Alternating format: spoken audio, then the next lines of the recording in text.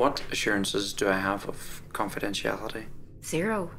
When you hand me that envelope, which I very much hope contains payment in cash, there'll be no proof that you or I ever held a meeting, let alone made a business transaction, which in effect protects both of us. Whoever recommended me to you, they got the same deal. And I'm sure they were satisfied. True, true. For what it's worth, this is my first time doing anything like this. I was raised as a Catholic, for Christ's sake.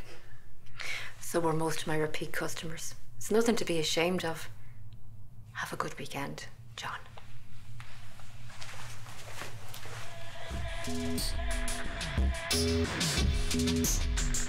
While some of you would use the words pervert, weirdo, or deviant, I much rather prefer niche, untapped market.